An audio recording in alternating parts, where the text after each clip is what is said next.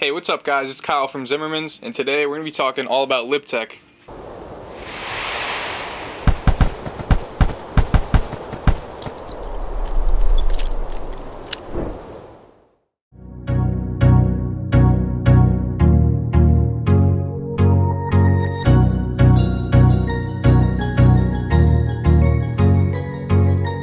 LibTech's one of my absolute favorite brands in the industry, man. We've been carrying them for over a decade at the shop, I believe, and we've honestly never been disappointed with any boards we've gotten. So all the boards I'm mentioning today are all made with zero hazardous waste, which means really good for the environment, and they also all feature uh, Magnetraction technology, which is their special edge technology. So the first board I'm showing you guys today is called the LibTech Skate Banana. This is a super fun board. This is for any rider, whether you're day one or an advanced rider. Uh, super flexible, super fun park board. It really turns the whole mountain into a nice freestyle landscape. Um, this isn't something you're gonna be carving super hard on, but you can still catch a pretty good edge uh, thanks to, like I said, LibTech's Magnetraction technology. So I recommend this board for any beginner rider who's looking for a nice all-mountain option. Um, like I said, super easy to ride, super user-friendly, or a real park rider who really wants something fun to jib around with, uh, do rails on, send jumps, all that good stuff. This is gonna be perfect for you. So the next board I'm going to talk to you guys about today is called the Cold Brew from LibTech. This is a super hard charging board and it's great for the intermediate to advanced rider. This is something that if you get on edge, you're really to lay some trench and make a super good carve with.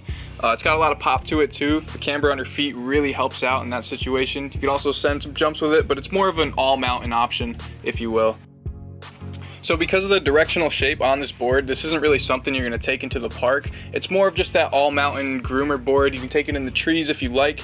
Uh, the flex on it too, it's towards the stiffer side, so it is gonna be real stable when you hit higher speeds and you're really carving hard. All around a great option. I mean, for 479, uh, can't really get a better board.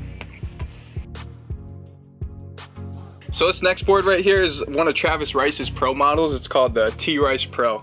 This is a super awesome board because not only can you take it on a groomer and lay it over and really get a nice carve out of it, but you can also take it in the park and send really anything on the mountain you need to. Uh, this is a model that he rides a lot actually. It's gonna float really good if you get into any powder. Just an all around great all mountain option. Like I said, go to the park, go in the trees, in the groomers, whatever you're getting into, this board can definitely handle it. Um, I wouldn't recommend this if you're just kind of starting out, but this is a great intermediate to advanced rider option. So not only is this a super versatile board, but every year Travis Rice seems to kill the graphic on it. You can see on the front we got this crazy looking graphic right here and even on the back it's just such an awesome deck man. I mean who wouldn't love this? Alright, so the last board I have to talk to you guys about today is the Orca by LibTech. This has been one of the most popular boards in the industry for the past four or five years and there's really no surprise as to why it is. It's the perfect ideal one board quiver. You can really take this thing anywhere and have a dream day on it. Whether you're in the powder, it has a super fat spoon nose so you can float with ease. It almost feels like you're surfing when you're on top of a nice pillow.